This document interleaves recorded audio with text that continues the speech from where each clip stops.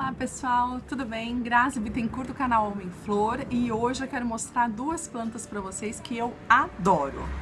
Bom, plantas que algumas super, que os supersticiosos gostam muito de ter em casa, né? Vai que dá certo. Tô falando de quem? Do tostão e do dinheiro em penca. Sim, porque eu os conheço por plantas separadas e não por uma única planta.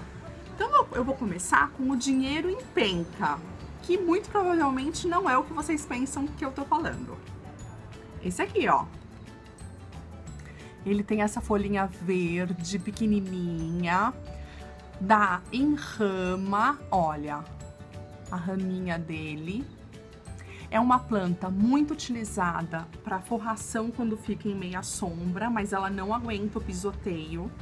É uma planta que eu particularmente gosto mais de trabalhar com ela de maneira pendente. Então, fazer aqueles vasos e pendurar, porque ela vai crescer e vai ficar enorme, linda. Como toda planta pendente, mesmo as suculentas, isso foi uma dica que eu recebi num cactário aqui em São Paulo, a gente não pode deixar faltar água.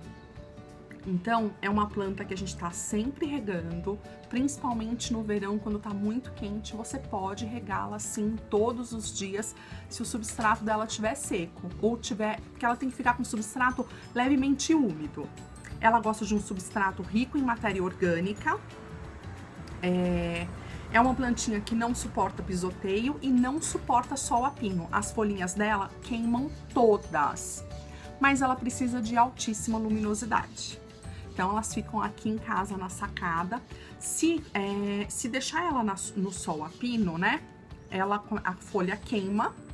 Se deixar ela na sombra ou região gelada, por exemplo, um ambiente interno com ar condicionado, as folhas dela vão ficando, as ramagens vão ficando com as folhinhas bem esparsas e vão abrindo buraquinhos e você consegue enxergar o fundinho do vaso. Olha, você não enxerga o fundinho do vaso. É um vasinho pequenininho porque é uma mudinha que eu fiz. Então ela precisa de alta luminosidade, ela não gosta de frio, ela é uma plantinha de região tropical. Uh, como que a gente faz? É, muda dela. Pega uma raminha, sempre de preferência cortando no nozinho onde sai a folhinha, porque é por aqui geralmente que enraiza. E aí você vai colocar essas raminhas em cima do, do seu substrato. Pode ser um substrato com um pouquinho menos de areia, tá? Não precisa ser aquele substrato que eu faço é, o dobro de areia para a quantidade de, de terra. Então, a gente vai utilizar um substrato mais meio a meio ou até uma porção um pouquinho maior de terra e adubo. Ela gosta de adubo. Essa plantinha você pode adubar no verão e na primavera, que é o momento que ela mais cresce, uma vez por mês, ok? Então, essa daqui eu conheço como dinheiro em penca. E o nome científico dela, deixa eu botar meu bonitinho aqui, é Pileia numularifolia. Olha aqui. Ai. Ok? Agora eu vou mostrar para vocês o tostão, também conhecido como mosquitinho e também conhecido como dinheirinho. Essa coisa linda, essa coisica linda aqui. Eu amo. Amo, amo, amo. Quando eu comprei essa mudinha em novembro, ela não saía, é aquele vaso pequeno, ela não saía da borda do vaso, ela estava começando a sair. Essa é uma planta um pouco mais resistente, então olha, as folhinhas dela também são pequenininhas, verdinhas. Essa daqui é, a, é o tipo dourado, tem o tipo verde e o tipo dourado. Essa daqui, ela é mais amareladinha por dentro, em cima, e atrás ela é roxinha. Ela é uma planta que também ela é muito utilizada para forração, mas ela também não aguenta pisoteio. Mais diferente da outra, ela já aguenta um sol mais forte. Deixando ela no sol mais forte, deixa eu ver se eu consigo mostrar, gente. Acho que no vídeo não vai aparecer. Ela fica mais pigmentada, ó, aqui, aqui dá pra ver. Vamos ver se eu consigo focar agora, né? Ela fica mais pigmentada de pontos avermelhados. Se ela está na sombra, ela fica mais... Vamos ver se eu consigo mostrar esta ramagem. Ela fica menos pigmentada, deu pra ver?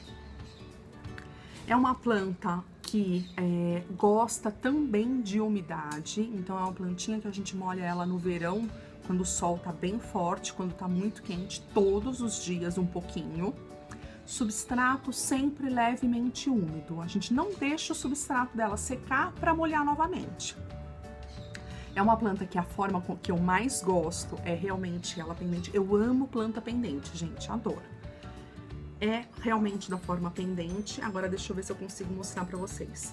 E como que a gente faz muda dela? Da mesma forma da outra. A gente vai tirar uma raminha, de preferência no entrenozinho dela, e colocar sobre a terra. A danadinha pega tão fácil que quando você vê o seu vaso, tá cheio de ramas com raiz. Como se dissesse, me multiplica, me multiplica. Ai, olha aqui, aqui tem raizinha, será que vai dar? Olha, bem aqui. Ai, não dá pra ver, tá muito pequenininha ainda. Olha aqui. Ó, acho que agora aqui no contraste deu pra ver. Isso são raizinhas. Então, tira a raminha, coloca na, no substrato e a danada vai que vai. Bom, o nome científico dela é Calísia repens. Então, ó, essa é a Calísia repens. Não sei se é assim que fala, né, gente? Vamos combinar que latim não é para qualquer um, eu não falo latim.